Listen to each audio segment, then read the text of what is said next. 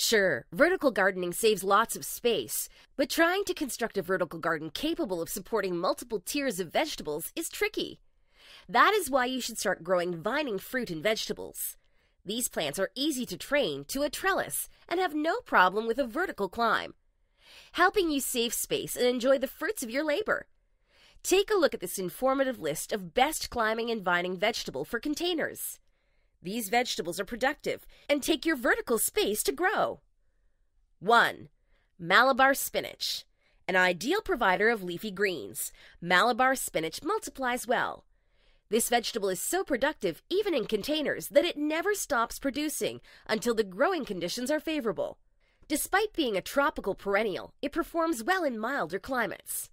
Start the seeds indoors and wait until the last frost date before transferring outdoors. As time marches, the plant gets overly bushy, and you may need to harvest it intermittently and provide solid support to the vine for optimal growth. 2. Tomatoes. Anyone with a green thumb will tell you how rewarding it is to toss slices of fresh homegrown tomatoes in a plate of salad or to eat it any other way. There are many varieties of tomatoes that follow vine like growing habit. Tumbling Tom, Sweet 100 tomato, and Green Zebra are a few of the many varieties that can be grown in containers vertically. 3. Pole beans. Pole bean vines grow to a convenient height of about 10 feet, making it a suitable vegetable to grow in pots even in balconies. Growing beans in containers is particularly useful for early starting when the soil temperatures are too cool to support the growth of this warm season vegetable. Like most bean species, pole beans resist transplanting and hate when the temperature dips pretty low. 4. Cucumbers. Cool and crispy, cucumbers are warm season vegetables that thrive best when there is a rise in the temperature. The compact, moderately long vines make them suitable for container growth.